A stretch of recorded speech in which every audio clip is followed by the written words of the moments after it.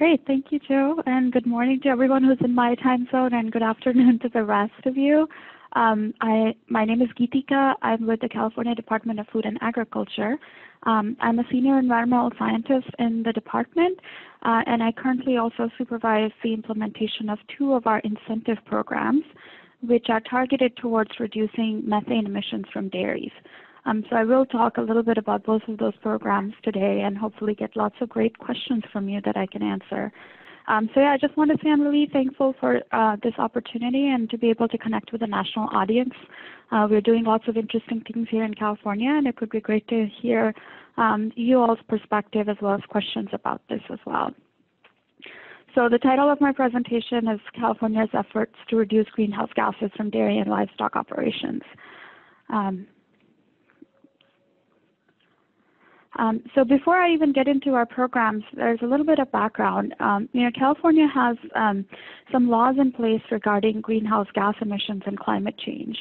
So one of them, um, you know, was our uh, one of the uh, laws that passed in 2006, I believe, or 2004 or six. I might be missing this, but we have an overall kind of greenhouse gas reduction target, which was originally to reduce our uh, greenhouse gas emissions to 1990 levels by 2020.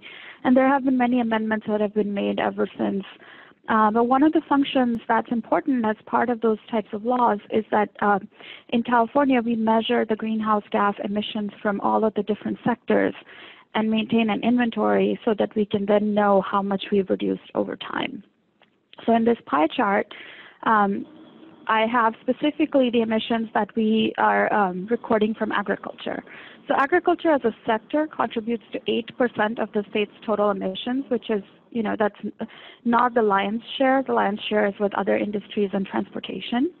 And out of this 8%, though, the interesting piece is, that, is our dairy and livestock operations. Um, as you can see, the two biggest slices in the pie are the blue one and the orange one, and they both relate to dairy and livestock management. Um, the blue one is manure management, whereas the orange one is enteric fermentation, which is, you know, a technical, fancier term for just, you know, belching of cows because when they belch and burp, they release methane into the atmosphere. We do have a large population of dairy cows in California. We're the number one dairy state in the nation. Um, milk is also one of our top three commodities, um, agricultural commodities that we produce. Uh, so the impact from dairies is um, is large, but that also means that the opportunity to achieve greenhouse gas reductions from dairies is also quite big. Um, and currently, our programs kind of um, focus on that manure management piece, which is that blue piece of the pie. We don't have enough scientific research right now to fully understand how to reduce the, the belching um, piece. And I'm sure many of you have seen lots of funny cartoons and videos everywhere with the cows, the gas masks or backpacks. And I just want to say we're not there yet in California, so we're going to focus on the manure piece. Um, so um, with that, I just kind of want to highlight a couple of policies that have been important in this regard. Uh, we did have a law that passed in 2016 which says that um, dairy and livestock operations have to reduce um, their methane emissions to 40% of the 2013 levels by 2030. So that's kind of like a goal or a target.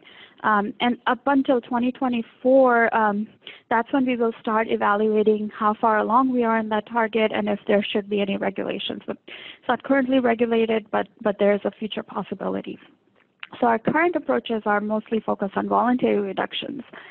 So the target is not for each individual dairy producer, it's for the industry as a whole. Um, so the way we are kind of looking at it right now is by offering incentive programs through the department, and hopefully we can have um, you know dairy producers that can participate in the programs, and hopefully you know this target can be met even before 2024, before there's a regulation issue that comes up. So we have two programs in the department. One is called the Dairy Digester Research and Development Program, and the other one is called Alternative Manure Management Program. And it's called alternative. The word really there uh, means it's alternatives to digesters, um, because you know over time we've come to realize uh, digesters don't always work out for every dairy. Um, you know sometimes like you know there's the issue that the dairy has to have a minimum size um, number of cows that can contribute manure to the digester, but um, the the larger reasons that we've seen uh, in our work is really what happens to that biogas in the end um, that's produced from a digester. And if a dairy is not located close enough to an electric uh, line or grid, or if it's not located close enough to a gas pipeline, um, they can be challenging to run a digester. And so in those cases, we want to have options uh, that are not centered on biogas, and all of those options we cover in that alternative program.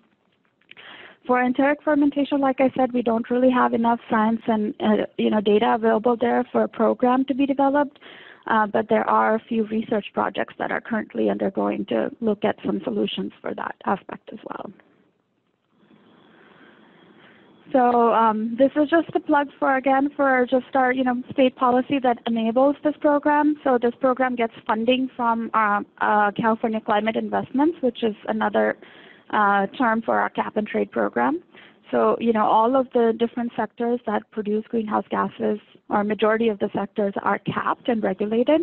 If they produce carbon emissions larger than a certain threshold, then they have to pay a revenue and that revenue is then collected um, and then distributed amongst different state government agencies um, to have programs, and then those programs um, can track greenhouse gas reduction. So all of the projects funded by the programs are those that will reduce carbon.